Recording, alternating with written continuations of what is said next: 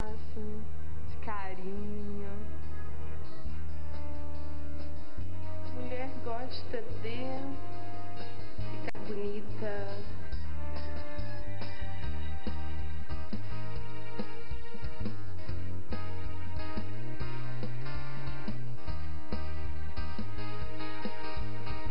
A gente quer ser feliz. Mulher quer ter o seu espaço.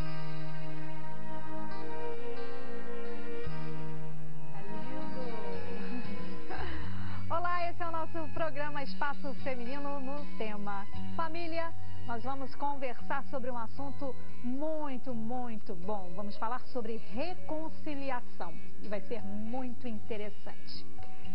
Eu sou Márcia Costa no programa de hoje. Você pode fazer a sua pergunta, o seu comentário sobre o assunto reconciliação e participar com a gente nesse horário de três e meia hora de Brasília, ao vivo, às seis da manhã é a nossa reapresentação.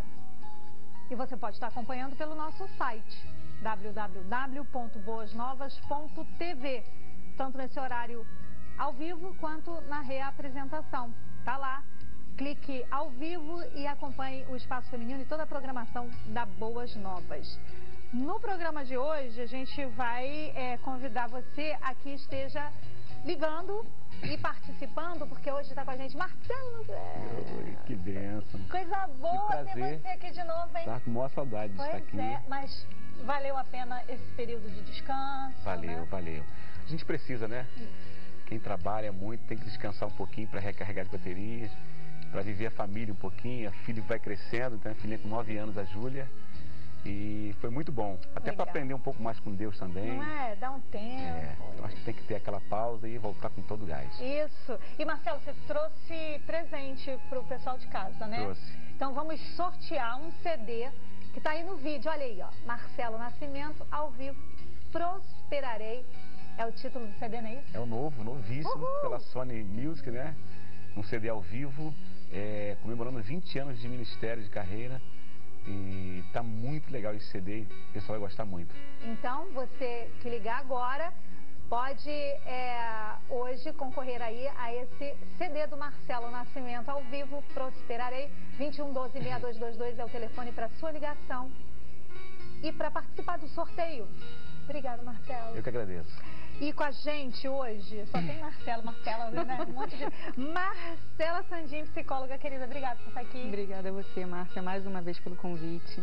E eu vou passar então para a única que não é Mar... Marcela, tá vendo? Mas tem Rosângela Maria.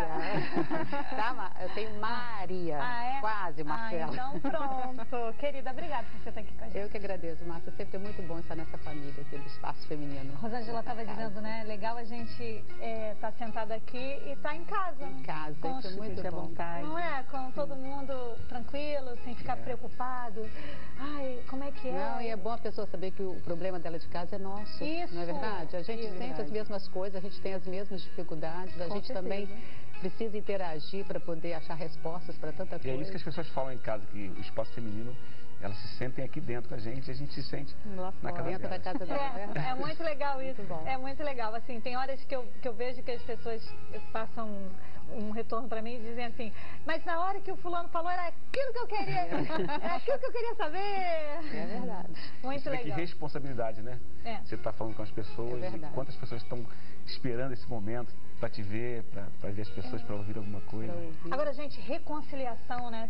Eu, eu, eu acredito que essa pauta, ela é tão apropriada, ela é tão bem-vinda para essa hora, onde está tudo tão difícil, né? O momento está complicado, existem muitas questões sociais, econômicas, políticas que estão, assim, num movimento de dificuldade, não é? E hoje, essa hora, é, falando de reconciliação para todo mundo, é maravilhoso. Eu Ah, acredito que é acolhedor, né, Roberto? É, eu e brinco- esperançoso Isso. também, né? Eu chego a brincar que a gente, precisa se reconciliar consigo mesmo também, né? Que a gente vai se descartando às vezes, É. deixando pra lá muita coisa, Verdade. não se resolvendo em muitas coisas. E aí É a reconciliação. E falando em Marcelo? Outro Marcelo. E falando Marcelo, tem outro Marcelo aqui, é o chefe Marcelo Fabrício que está hoje com a gente no nosso espaço. E o chefe Marcelo vai fazer um escalope de mignon grelhado com flor de sal e rosti de legumes com queijo Minas padrão. Ufa! É isso? Exatamente isso. Que bom tê-la aqui. Muito obrigado pelo, pelo, convite. Nesse grupo de Marcelos e, Mar é, e Márcia e Marcelas e enfim. então, na nossa mesa place nós temos aqui já preparadinho para você de casa uh, o mignon, não é isso, chefe? Exatamente. Aqui já está cortado, porcionado, escalopinho de mignon. Uhum. Temos aqui o queijo Minas padrão. Aqui a abobrinha juntamente com a cenoura já ralada. Que a gente tem também, que a gente vai usar na nossa receita, a, o, as ervas frescas, que são coentro, salsa, a manteiga e o queijo parmesão. E aqui, a flor de sal. Tudo isso aqui no nosso espaço feminino, essa receita maravilhosa com o chefe Marcelo Fabrício. Já já a gente volta aqui com você e olha, é, hoje, no nosso espaço, a gente continua aquela caminhada que iniciamos na segunda-feira na nossa reflexão. Na reflexão da segunda-feira, no tema Crescendo em Fé, nós vimos, nós ouvimos, nós pensamos, refletimos na palavra em tempos difíceis. Deus tem planos para as nossas vidas. Isso é muito bom, né? Isso é muito bom saber que nada pega Deus de surpresa. É, nada pega o Senhor Jesus despreparado. Uma dificuldade que vem na sua vida pode pegar você de surpresa, pode pegar a mim de surpresa. Algo que é difícil, que aconteceu, pode ser realmente uma grande surpresa para algumas pessoas, mas Deus é Deus. E nada pega Deus despreparado, sem saber o que fazer. Em tempos difíceis, Ele sabe exatamente como te ajudar, como te respaldar, como te é, abençoar, como acolher você. Em tempos difíceis, confie que Deus, Ele sabe o que precisa ser feito. É por isso que quem está em Cristo vive a dificuldade com grande diferença. Porque quem está em Cristo entende porque entende que está no lugar certo da batalha. Porque crê que Deus é fiel. Não fiel a mim, fiel a Ele próprio, a Sua palavra. A fidelidade dele passa por Ele e nos alcança. E mesmo que nós, diz a palavra, mesmo que a gente erre o alvo, mesmo que sejamos infiéis, Ele permanece fiel. No momento da dificuldade, não pensa que Deus está ausente, não. Ele é Emmanuel, Ele é Deus conosco. No tempo da dificuldade, não pensa que Ele é, se ausentou porque você falhou, porque você foi infiel, não. É exatamente nessa hora que você mais precisa dele. Porque é a hora em que você precisa retomar o alvo da sua vida, em que você precisa de Deus trazendo para você as ferramentas necessárias para que você se recupere. Então, saiba, ele é Emmanuel, conta com ele. Mas, eu errei. E eu errei, por isso eu estou vivendo essa dificuldade na minha vida. Mas, e você vai continuar essa caminhada como? Conta sempre que em tempos difíceis Ele é fiel e o amor dele te restaura, te reconcilia, te abençoa. Tudo por quê?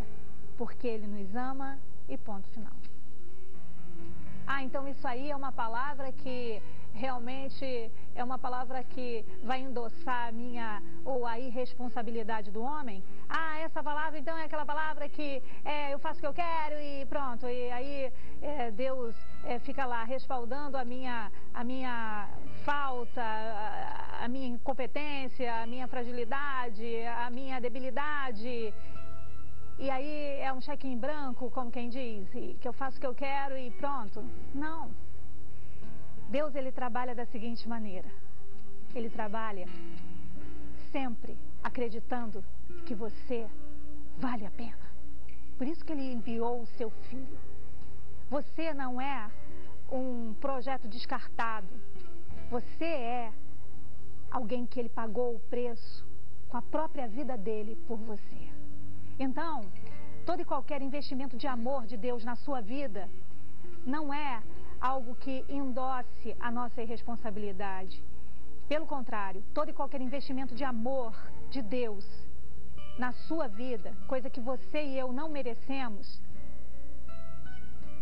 isso acontece porque Ele nos ama e porque Ele quer que você tenha o amor dele para vencer todo e qualquer hábito destrutivo na sua vida.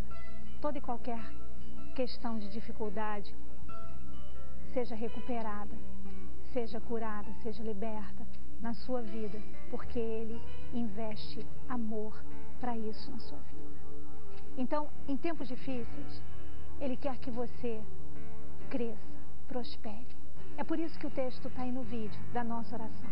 Em tempos difíceis, nós sabemos que podemos contar que esse, esse momento, essa hora, é uma hora em que nós não seremos reduzidas, não seremos massacradas, não seremos aniquiladas, mas é tempo de provisão, de prosperidade, que não é só a prosperidade do bolso, não, é a prosperidade do coração. Por isso que ele, Jesus, sendo rico, se fez pobre por amor de nós, para que por meio da sua pobreza nós nos tornássemos ricos. Pai, no nome de Jesus, nós te agradecemos pela tua palavra.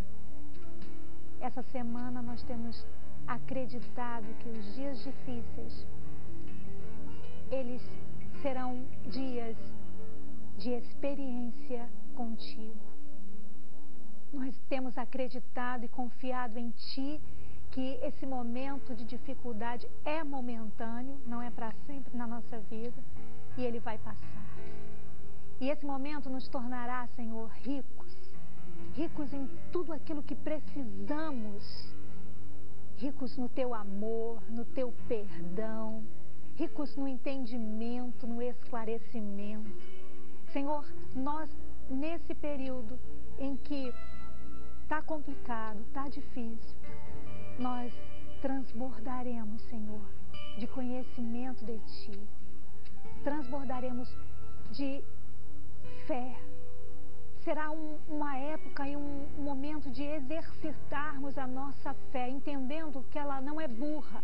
Ela vê o problema, sabe que existe, mas também crê que Tu é muito maior do que o problema. Então nós te agradecemos porque tudo que poderia surgir nessa hora difícil para acabar com a vida da gente, destruir a vida da gente, desunir a nossa família, não acontecerá dessa forma, porque tu é aquele que nos abençoa e tem planos para essas horas na nossa vida. Então, esse momento difícil vai nos fortalecer, vai nos capacitar. Será um momento de exercício de fé, será um momento em que poderemos provar e ver que tu é muito bom e o teu amor fiel dura para sempre. Nós te agradecemos, Jesus, por tudo que o Senhor já fez, está fazendo e vai continuar fazendo na nossa vida para frente. Graças te damos, Senhor. Amém.